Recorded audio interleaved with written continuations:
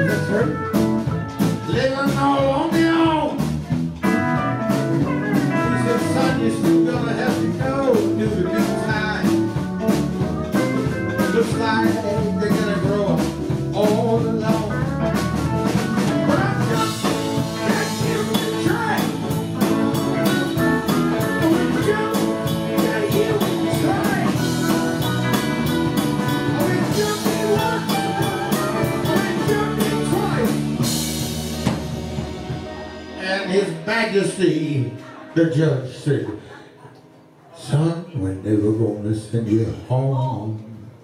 Now I'm going to send you home. You ain't going home ever, ever, ever Yeah.